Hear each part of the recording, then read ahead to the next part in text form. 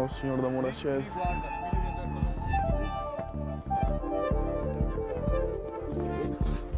Porca sinistra. Dai, che siamo arrivati. Adesso vai su dritto lì. Dritto lì.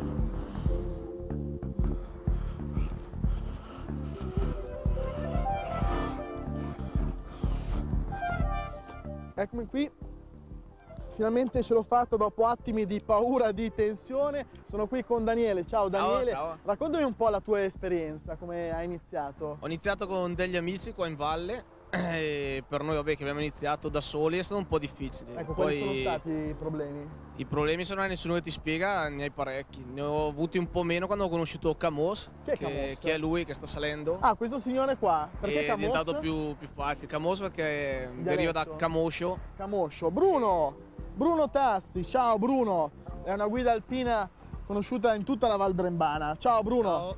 Allora raccontami un po' anche la tua esperienza. E la mia esperienza è che ho iniziato a arrampicare da, da ragazzo, prima andavo per sentieri con i miei genitori e poi preso dal fascino della montagna, da queste grandi pareti che ci sono sulle nostre Alpi e anche all'estero, la, la la cerca un po' dell'avventura.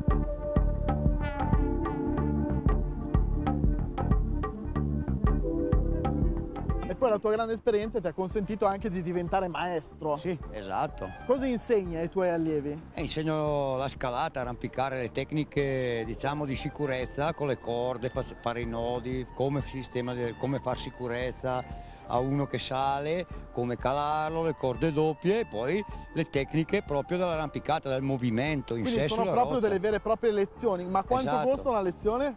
Una- un'ora di lezione con una guida alpina costa 37 euro. Quindi tutta la giornata. La giornata costa sulle 190, 190 euro. euro, ma io importo un gruppo di amici, Sì, insomma, viene ci suddiviso. fai uno sconto, insomma. Esatto, perché viene divisa la spesa in più persone. Volevo chiederti un'ultima cosa, ma tu ti sei mai trovato in difficoltà? Io ho avuto un po' di paura all'inizio, già il primo Sì. metro di altezza, anzi Qualche volta in montagna ci sono dei, dei momenti in cui uno è in difficoltà, eh, però sono sempre superati dall'esperienza, con Non hai l'esperienza. mai avuto col- paura, non hai mai rischiato di cadere? Sì, qualche volta bisogna aver paura, perché sennò si rischierebbe troppo. Anche dopo un metro d'altezza? No, dopo un metro d'altezza. dopo un metro d'altezza no, ma diciamo sulle grandi pareti dolomitiche o, delle, o Tu sei mai americane. caduto? Me lo vuoi dire? Sì, non sono mai caduto in terra, se no ci sarei più qua a parlare con te. Sono caduto, ma sono rimasto appeso sulla corda. Meno male. Ma Perché stavamo... Cosa è successo praticamente? Eh, praticamente mi si è staccato un pezzo di roccia da una parete, sono Oh, venuto mamma. giù io e, e il pezzo di roccia, però fortunatamente il mio Sei amico era preparato tecnicamente, ma tenuto e i chiodi tenevano e quindi Era bene. preparato come lo siete voi adesso, grazie a Bruno, Camus, Camus, Camus. grazie Camus, grazie a Daniele, a presto, Federica ci vediamo tra una settimana quando sarò a Bormio.